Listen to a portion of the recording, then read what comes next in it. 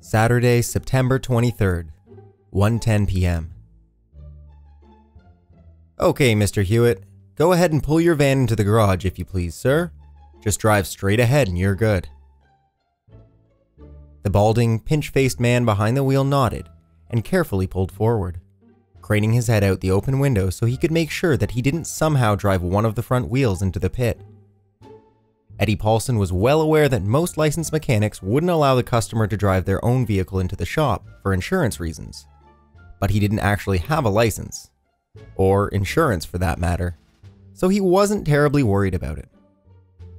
Back in his father's day, every farmer and rural mechanic had a pit in their barn or garage, but they'd been outlawed years ago. Too many idiots had gassed themselves to death by working beneath a vehicle as it was still running. These days, a mechanic was required by law to use a hydraulic lift, or at the very least, four reliable jack stands. Eddie could potentially get into some hot water over having one on his property. But, if it came down to it, the sons of bitches were more than welcome to seize his assets, and all the arrears that came with them. He would pack whatever he could into his aging pickup truck in the middle of the night and drive off without a shred of regret. Eddie listened to the van's engine and shook his head. When he'd asked John Hewitt what the problem was over the phone, Hewitt had vaguely replied, The engine's getting a bit noisy. I think it needs a tune up. This particular statement, in Eddie's experience, often meant that either the timing was off or the oil was dirty and probably too low. The loud, thirsty grumbling that Eddie heard coming from beneath the caravan's hood told him that it was the latter. Oil change, maybe scrub the gunk out of the pan. Easy money. As the caravan's back bumper disappeared into the garage, a second vehicle rocked and jounced its way into Eddie's potholed gravel driveway. It was another van. This one was a later model, full-size GMC cargo van with tinted windows.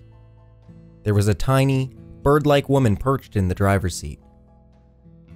She pulled up in front of the garage and Eddie strolled over to see what her story was. The woman saw that he was approaching and scurried out to meet him. She was wearing a dark, modest dress and clunky square toed shoes, the official outfit of the rural church lady. Her lank hair framed a gruesome looking black eye. Eddie's brow furrowed as he examined it. She'd been hit with tremendous force and was probably lucky that her eye socket hadn't been shattered. Ouch.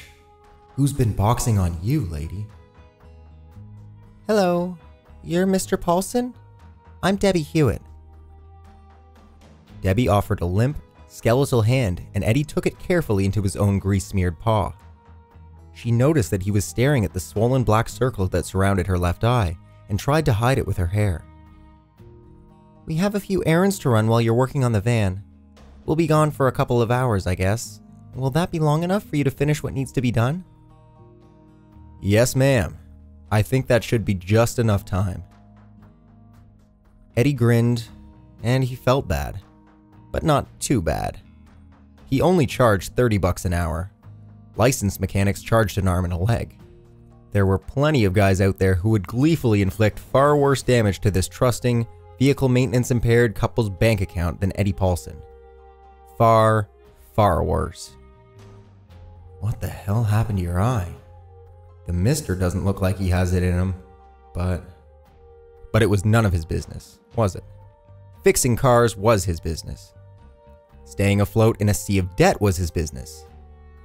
Eddie gave Debbie a reassuring smile and tried his best not to look at the dark, nasty bruising around her eye socket. She attempted to smile back and could only manage a strained, tired grimace.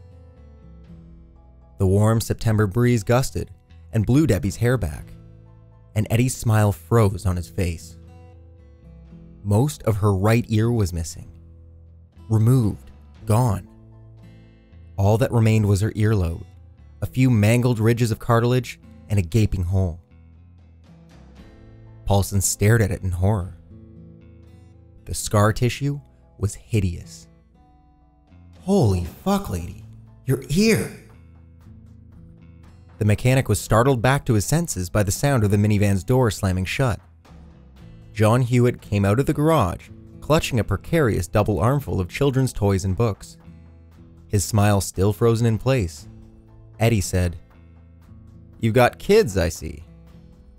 The gusting breeze dwindled, and Mrs. Hewitt's fine, fluttering hair dropped, mercifully, to cover what was left of her ear. She hesitated, squirmed uncomfortably, then abruptly blurted out, Yes, uh, we have a son. His name is Charlie. He has trouble pronouncing that, so we just call him Arlie. Oh? How old's the lad? Pretty young still, I'm guessing. Eddie pointed over at the mound of colorful playthings in her husband's arms.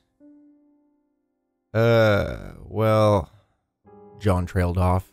His wife looked on anxiously, as if she were silently apologizing for some unknown transgression. He shook his head at her and muttered, He's an adult, but not mentally, Mr. Paulson. Our son is. Well, he's impaired, and he has severe emotional problems. Arlie takes medications to keep him even, but my insurance only covers so much. And these pills. John's lips thinned into a hard, bitter slash on his face. They cost the earth, these pills. We've been clean out of them for almost three weeks. John swallowed hard and held his hand over his sternum for a moment, grimacing. Eddie recognized these motions, from personal experience, as an acid reflux attack, probably the kind caused by stress. Hewitt groped for words, then stifled a sour belch and simply said, It's been hard on us, Mr. Paulson.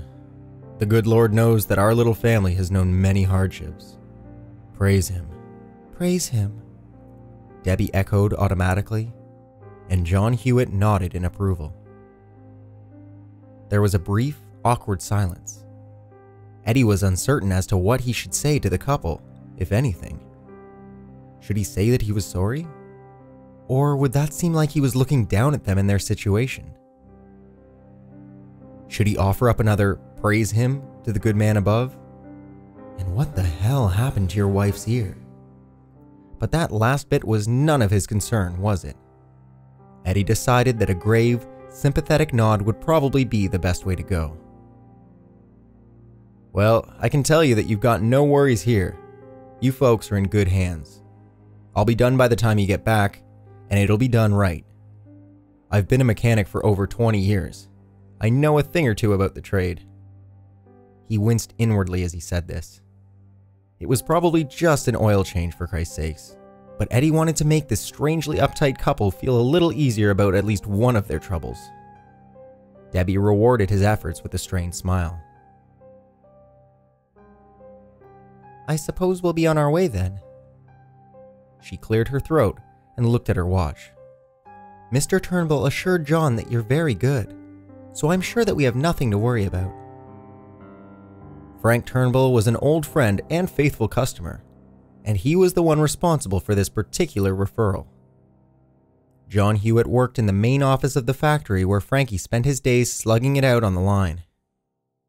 Frankie had overheard Hewitt asking around in the cafeteria if anyone knew of a trustworthy and reasonably priced mechanic. So he'd ambled over to Hewitt's table and volunteered the services of his old pal Eddie Paulson.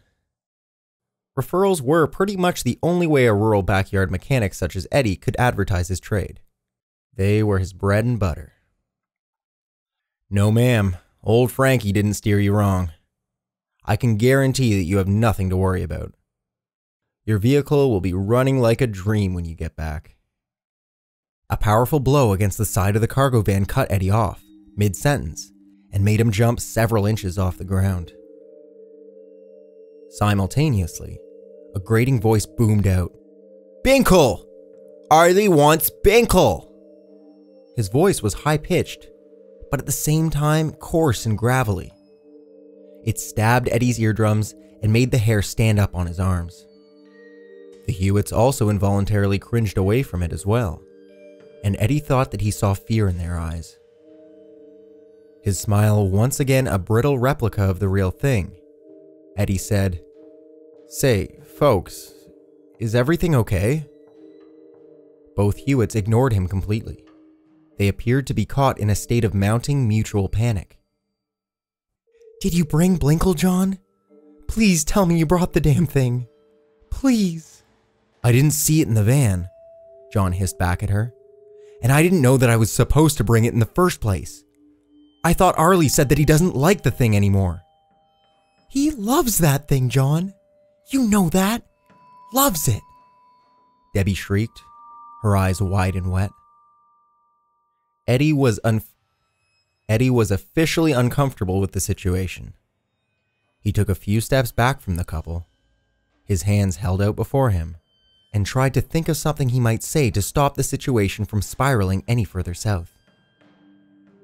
What the hell were they going on about anyway? The bellowing thing in the back of the cargo van? That was their son? Paulson opened his mouth to speak, and whomp! Another powerful blow against the interior of the GMC made him stumble back and almost fall on his narrow, coverall clad ass. There was now a large, outward bulging dent in one of the GMC's rear quarter panels. Eddie gaped at this like a fish. Holy shit, Eddie thought. Did he just do that with his fist? Binkle! Arlie wants Binkle now! What do we do? Debbie asked her husband, and there was no mistaking it. She was panicking. So was he. I don't know, he whispered, and his eyes grew bright with rising tears. I don't know. Eddie tried again. Hey guys, guys, is everything okay? I take it you've lost something. It's a stuffed toy, Debbie said, finally noticing him again. Bullwinkle, from that old Rocky and Bullwinkle cartoon. Could you please look for it, Mr. Paulson, while we deal with this? Please, it might be somewhere in the caravan. Arlie's very attached to it. Okay, sure, no problem. Eddie grinned, and that grin was about as real as a $3 bill. His one and only thought at this point was go away, you Bible thumping weirdos, and take whatever's in the back of that GMC with you. Paulson decided, as he ducked into the interior of the caravan, that he would definitely be parking it off his property when he was done. He'd tape a handwritten bill on the windshield, and they could leave his money in the mailbox for all he cared. And fuck Frankie Turnbull. He would have a few choice words for Frankie the next time he saw him. Oh, yes, indeed. Frankie was going to get an earful. After casting one last cautious glance at the Hewitts, Eddie slid open the minivan's side door. Oh, for crying out loud, look at that. Buddy forgot to leave the damn key in the ignition. And crammed himself between the two rear bench seats. Keeping an ear open for trouble outside, he blindly groped around beneath the seats, seeking out an object that was soft and plush. Eddie's hand happened upon something sticky. Oh, what the fuck is that? Ew. Then touched something hard and plastic. It was a G.I. Joe action figure, one of the bad guys. He tossed it aside and thought, this is beyond ridiculous. What the hell am I even doing here? He heard the GMC's side door open and then slam shut. Arlie barked something in a demanding tone. Debbie responded, her voice soft and pleading. Arlie raised his voice into a near shout, loud enough for Eddie to catch a few words. Binkle now, or Arlie? Mama's bad. Right now. Debbie raised her voice as well, and Eddie heard her screech. Don't you do that, Arlie! No! Don't you even think about it! From somewhere nearby, John Hewitt shouted, Arlie, you stop it right now. Do you hear me? You don't do things like that to your mother or me. Not ever again. Do you understand me, son? His tone was meant to be threatening, but it was not. Hewitt was very, very afraid. Eddie Paulson abruptly understood that the situation with the Hewitts and their son was not merely uncomfortable and weird, it was dangerous. Her black eye, her ear. Eddie pulled himself up from between the seats into a kneeling position so that he could peer out the dusty rear windshield. He saw John striding towards the GMC, stiffly, his arms still full of toys. Hey!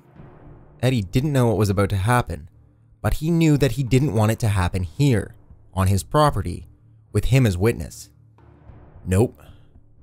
You know what? I think maybe you folks ought to get going now, okay? This isn't gonna work for me. Arlie let loose a shrill, infuriated bellow, then shrieked, Arlie will bite. Debbie Hewitt screamed, and all hell broke loose. John yelled his wife's name and threw his brightly colored burden into the air, sprinting the last few steps to the van like a track star. The toys arced up and away to either side of him in twin sprays of twinkling plastic and fake fur. They looked, for a moment, like two magical rainbows out of a child's dream. Debbie screamed again, and this time she didn't stop. As John was flinging open the side door of the GMC, Eddie was scuttling ass first out of the caravan with his heart yammering in his chest and his blood roaring with adrenaline. He seized the first weapon worthy tool that he laid eyes on a rusted and cobweb covered pipe wrench that had been leaning up against a wall for an eternity. Outside, John shrieked, Debbie! and dove headfirst into the cacophonous struggle inside with his fist swinging. Paulson ran towards the van at top speed, his pipe wrench raised high in a two fisted grip and his skinny legs pumping. He was halfway there when Debbie flopped out of the GMC and fell like a rag doll onto the driveway. The sight of her brought Eddie to a stumbling halt. She was torn and mangled and covered in blood. Covered. There was so much of it that it was impossible to tell where it was even coming from. Debbie had been reduced to a shredded, flailing stick figure, shrieking and dripping crimson. She began to struggle away from the van on her belly, leaving a broad streak of red behind her to mark her progress.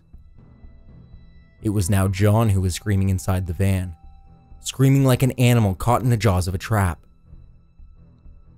His mind reeling from an overload of panicked adrenaline. Eddie darted over to where Debbie was worming along on her belly across the gravel driveway and seized one of her blood slick hands, meaning to drag the injured woman to safety. Come on, let's go! Eddie hollered, and he pulled. And, with a wet little rip, Debbie Hewitt's mutilated arm came off at the shoulder. Eddie stumbled backwards, and, this time, he actually fell. His legs were made of water. The pipe wrench dropped from his nerveless fingers.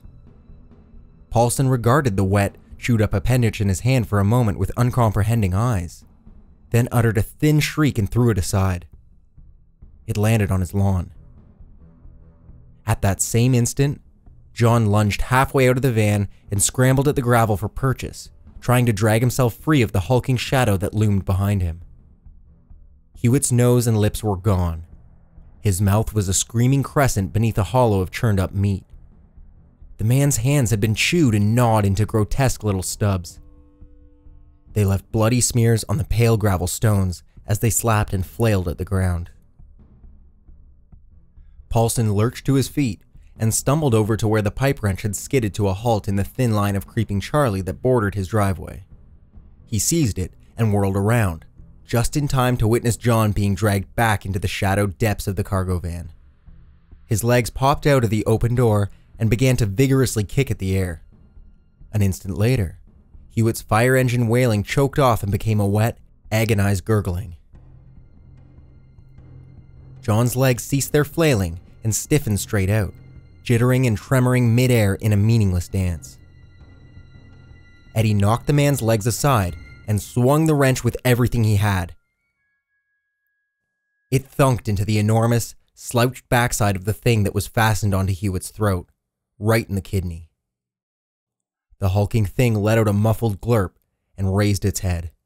Blood spilled from its gaping maw in untidy streams.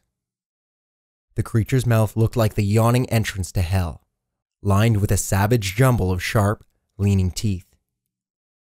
Eddie froze. Arlie? He whispered. Arlie blinked at him and sputtered. through a mouthful of blood. Hey, that hurt. Arlie's pupils were completely square, like a goat. Eddie let out a roar that was more terror than bravery and swung the pipe wrench again, as hard as he could, straight at the monstrosity's gigantic skull.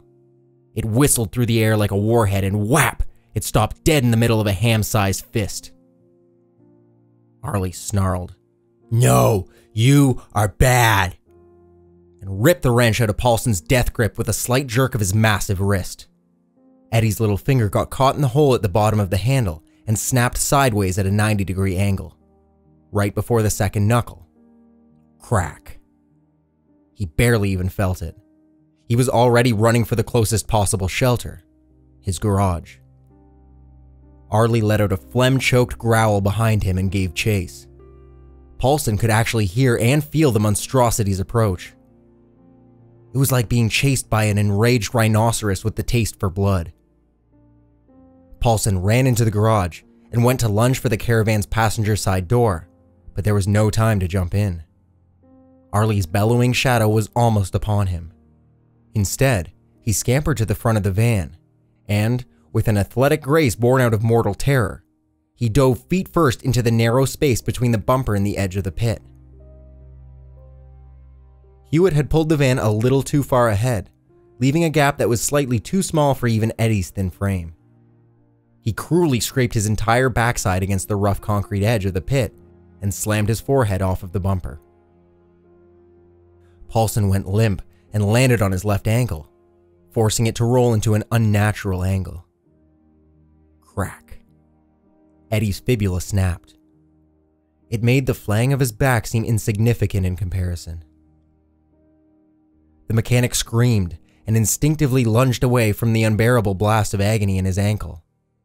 He rammed the top of his head into the oil pan, and stars exploded across his vision, a galaxy of brilliant stars. Eddie was unconscious before his face hit the hard floor of the pit. For a long while, his world was nothing more than black and silence.